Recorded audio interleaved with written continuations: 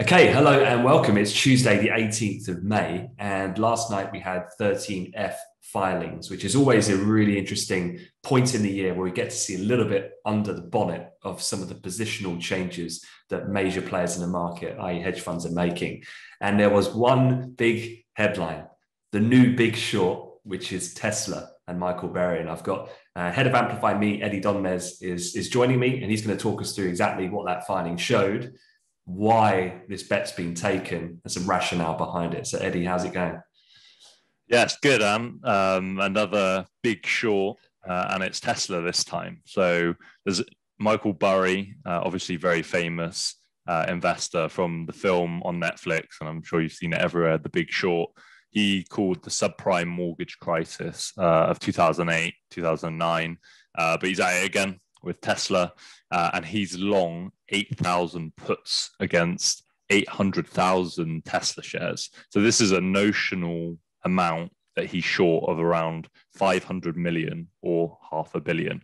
Uh, and this is a sizable sum, 40% of his total portfolio. Um, so first, let's dive into what is a put. Okay, so when would they benefit? It's essentially a derivative, and these securities will benefit when the underlying shares, obviously being Tesla, decrease past the strike price. So in this 13F filing, it's not actually disclosed what the expiry of these puts are or the strike price. So we don't actually know if it's in profit yet.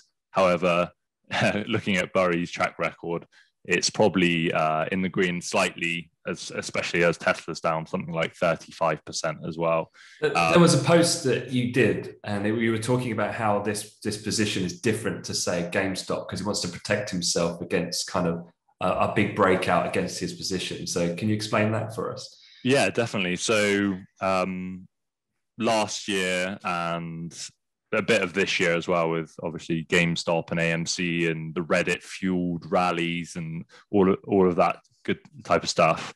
Um, it's very important to notice that he's not short the calls, which slightly different kind of play.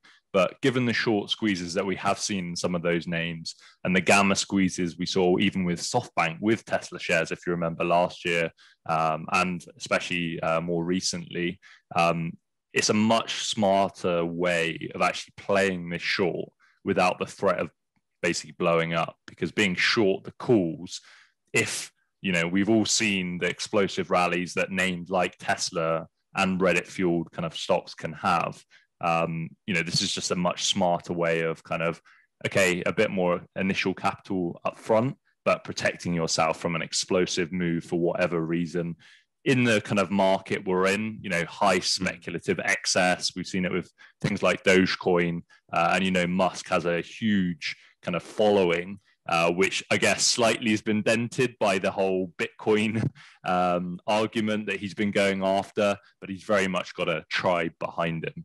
Um, but let, us take a look at kind of why um, Burry short. Yeah. Talk, talk uh, me through the rationale. Yeah. So he, well, he, he's long the puts, but he's effectively short. So he's he has tweeted and then deleted. Uh, he's very kind of um, he, he's very wary of the regulatory energy credits that Tesla have been kind of making a lot of money selling to different automakers, uh, and it's kind of widely uh, recognized that Tesla do share those energy credits. I mean, in Tesla's favor, uh, or the argument for Tesla is why wouldn't you sell them if mm. you were unable to? Uh, and the argument for the long term kind of bull case for Tesla is similar to that of Amazon, right? Why would you not sell those regulatory credits to then invest via capex, new factories, uh, you know, gigafactories all over the world for to then lower your long term costs to then produce you know model s's uh, etc model 3s at a lower cost base which is like the $30000 electric car that musk has talked about quite frequently. Why wouldn't you do that and invest in the future? Uh, if amazon's a perfect example and now they're you know the, the, the massive company uh, that they are. So that's kind of the the kind of case However, let's take a look at Tesla and why it's been crashing more recently. It's down something like 15% last week, 35% over the last three months. Uh, the sales in the key market of China have dropped to 26,000 in April. That's from 35,000 in the prior month of March. They've paused their plans to expand uh, in Shanghai uh, due to the regulatory uh, kind of tensions coming from the administration, so Biden. And a good uh, kind of point that speaks to Burry's play as well higher rates and the threat of inflation that everyone is talking about right now is hitting those highly speculative names across the board. Um, Tesla is still trading at a 97, pretty much 100 forward price to earnings ratio, which is still rich on a traditional basis. Um, so, speaking to Burry's play, he's actually um, put a he's basically aggressively positioning for inflation and higher yields. So he's got large calls, call positions on things like TLT, uh, the old sorry the the ultra short ETF, 20 year ultra short. He's got a put on the TLT 20 year. So yes, he's betting on Tesla, uh, the negative price action, but he's also got a more of a macro inflationary bet on as well. So of course, if you're looking at what's happened recently, inflation up, yields up, lower discounted cash flows going out into the future for the highly speculative names, tech stocks, highly speculative names getting hit. Okay, so so let, us pivot back and let's talk about the other big proponent of this, which is Elon Musk, and he's gone from that SNL appearance. It's all gone a little bit slippery for him recently over the last week or so. Any any thoughts on Elon? And one of the things just to lead you into this that I just wanted to share was I asked one of the guys to go back through and put together for me a study about the behavior of Elon on Twitter. And we, you and I were discussing this the other day. We were like, Christ, he's like the new Trump goes. Someone's got to fill that that that position as like the dominant dominant force on Twitter. And Elon Musk certainly isn't shy of putting forward his opinion, as we've seen. And so what I wanted to do was look look year to date, but also do a slightly bigger study as well, which I'm still collating information on. But this is year to date. So, so Musk has done about uh, 1,000, well, to be precise, he's done 1,009 tweets so far year to date. So he's averaging around seven a day. But this is the profile of timings around when he tweets. What's quite interesting is if you were to factor in the opening hours of Wall Street, that's the lowest time of day of which then he tweets whether or not there's any sensitivity to he's aware that the stock price is, is tradable at that point, whether he's actually doing some work um, and not on Twitter. But there's a really distinct pattern of where he tends to be most active post market close, if you're looking at after the closing bell on Wall Street up until midnight. And you can just imagine Elon sat there after a really, you know, a, a genius like him. I'm sure he's just got so much going on in his head.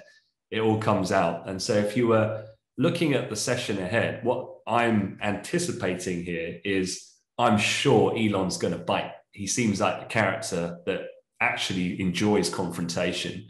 Uh, it's almost like a challenge to him. What do you reckon? Yeah, I mean, he's been kind of picking fights with uh, the Bitcoin mob, probably kind of poking poking the bear on that one. I think he's so intellectually strong that he hmm. does mm. love a challenge and he yeah. loves to pick apart arguments. Um, and he almost doesn't care about the stock price. I think that's worth noting in the sense of he doesn't really seem to care if it goes up. Hence why he's been tweeting this stock price is too high before. He doesn't yeah. really care if he gets hit in the short term. Um, he's now got enough capital for that to be uh, not an issue. Uh, so yes, I do believe that he will 100% have something to say uh, about this. Um, like he's picked the fight with the, the Bitcoin mob. Um, I definitely think he'll address this in some, probably maybe not directly, but obscurely uh, via some some tweets or or something like that. But who knows? We might get another movie out of it. It's like the big short, which I'm hoping for. Well, look, well, just to finish, is I was looking at the share price and downside. I'd just like to, to mark out 542, which was that low that we printed back on the second of Dec and the low on the 5th of March. Now, yesterday we closed at around 576, but what I'm quite interested in is that we know Tesla is a very popular name amongst the retail crowd. and just by association of the big short, I wonder if that and to what degree behaviorally that has an impact, even though we're talking about one of the world's largest companies. Um, so I definitely would have that on my radar. I think a breakdown, whether that happens today or not, I think a break of 542, we go to 500 ASAP, which would be that previous all-time high that we were seeing back in in SEP of, of 2020. But let's see. A few hours to go yet until the Open. Yeah, let's. Um, I'm looking forward to seeing it. I think um, after that kind of run up last year, I, they were up 740 percent or something last right. year with the inclusion of uh, of them in the S and P because of those regulatory credits driving some of that. Um, and I think they're sitting on their 200 day average or some some moving average, yeah, something yeah, like yeah, that. Just, just 200, yeah. Exactly. So if that breaks down, then look out below. Um, I, I, do think it's a bit of mean reversion as well, and this macro inflation hit, hitting these names more generally. But um, yeah, let's see. Let's see if Musk responds. Cool. On that, thanks as ever, Eddie. Have a good day. Thanks a lot.